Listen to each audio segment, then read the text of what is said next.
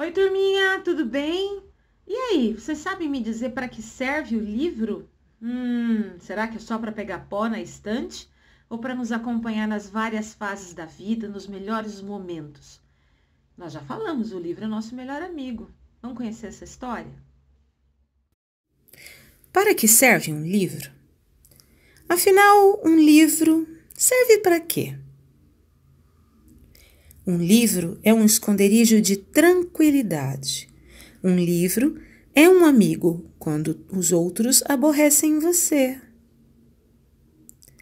Um livro é uma aventura que você vive sem sair do lugar. Em um livro você pode encontrar a solução para seus problemas.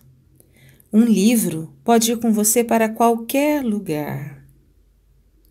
Um livro pode ajudar você a entender melhor a vida. Um livro é suspense e calafrios. Um livro faz você crescer. Ler um livro é um bom jeito de compartilhar e é um carinho também.